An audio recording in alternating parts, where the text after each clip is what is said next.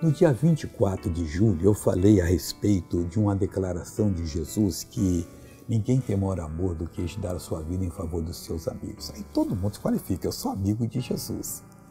Bom, todo mundo pode falar isso, mas quem é que ele fala que é realmente amigo dele? É João capítulo 15, versículo 14. Vós sereis meus amigos. Ah, eu vou ser, se fizer o que eu vos mando. É tão fácil, meu irmão. O que Deus fala para você fazer vai ter uma recompensa grande para você. Ele é seu amigo.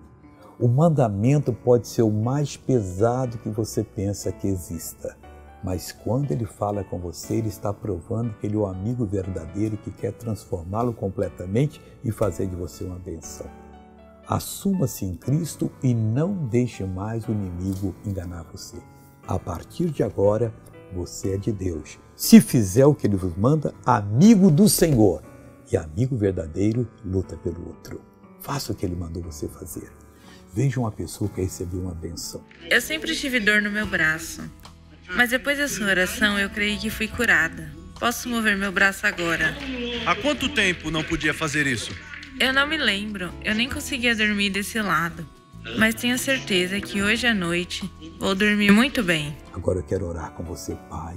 Eu estou orando por essa pessoa agora. Eu estou repreendendo o mal que está nela. Eu estou exigindo que saia.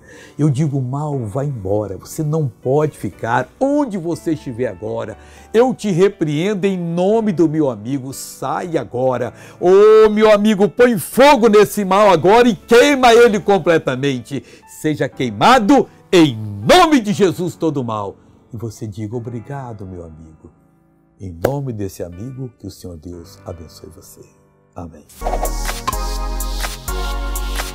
Gostou do Semeando a Fé? Então acesse o YouTube do Missionário e assista a todos os programas. Está tudo lá, disponível para você. E se quiser assistir em primeira mão a qualquer mensagem do missionário, inscreva-se no canal e não se esqueça de ativar o sininho.